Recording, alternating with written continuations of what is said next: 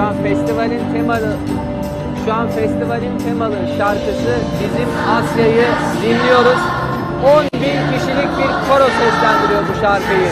Bizim Asya.